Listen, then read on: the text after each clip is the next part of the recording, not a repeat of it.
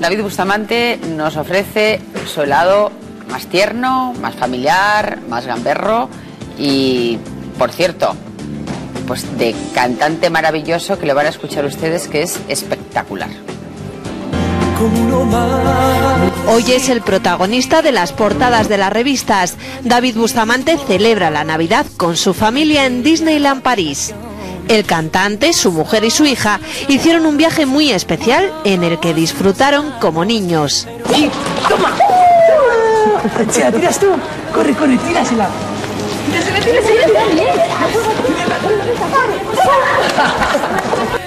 David y Paula están encantados con Daniela, que ya tiene dos añitos. Es una época feliz para Bustamante, tanto en lo personal como en lo profesional. El 7 de diciembre sale a la venta una edición especial de su disco A Contracorriente. Esta edición